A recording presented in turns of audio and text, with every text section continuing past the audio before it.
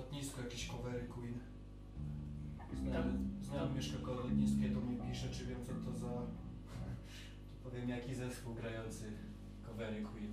Tam ponoć wstęp był płatny, tak? Coś brali No za tak, kogoś. tak. Kuźwa, dziadostwo.